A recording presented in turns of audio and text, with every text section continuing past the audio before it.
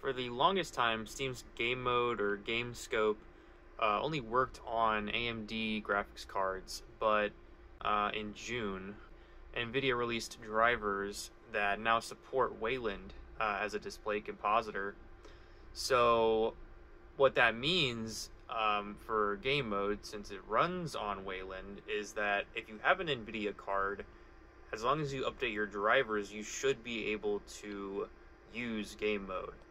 Now, the Nobara project has a Steam version just casually placed on their website here for NVIDIA graphics cards, and it is the Steam version. You can see it's made for HTPCs. It is important to note that you might have to disable your integrated graphics and rely solely on your GPU to render your display and everything. So my PC uses a Core i3 12th gen. As you can see, it's the 12th gen i3, um, and you see that F at the end. So there's no integrated graphics, and everything is running on my 1060. Um, there are a few requirements for how new your card has to be. Obviously, you still need to be able to update it as far as graphics drivers go.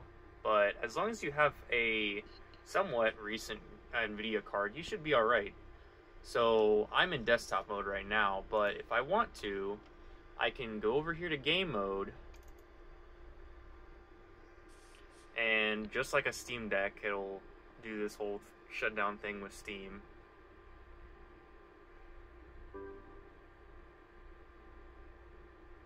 and this screen right here is normal. I'm pretty sure that would normally be just the Steam Deck logo because it'll flash for like a couple seconds before it actually goes into game mode. But it does play the little animation that it does. Yeah, there it is when it goes into game mode. And then I just have my controller connected here so I can just do that. And it's based off of big picture mode, but it's not big picture mode because if I pull up the quick menu or the quick access menu, I've installed plugins or one plugin, Decky Recorder. So if I wanted to, I could also go to the store and just download more. You know, you've got the whole what is it like I think there's like 50 plugins in the in the store right now. There's not oh 69. Okay. There's a total of 69 plugins you can get but you know that it's not big picture mode because you would not have that plugin menu. But I'm just gonna quickly show you, yeah, you can see I'm using Gamescope. I'm just gonna go into the settings so I can show you exactly what it looks like when you have it open um, under system, which is back at the top.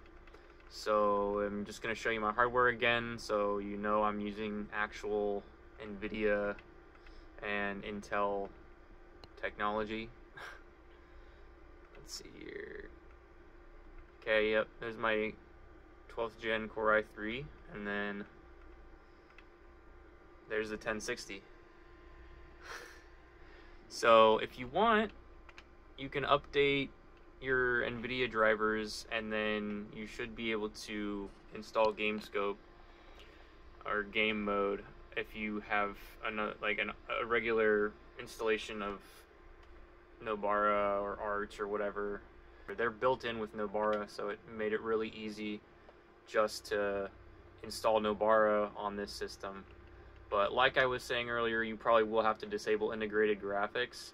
I tried doing the exact same thing on my laptop which uses Optimus technology since it's an NVIDIA and Intel combination.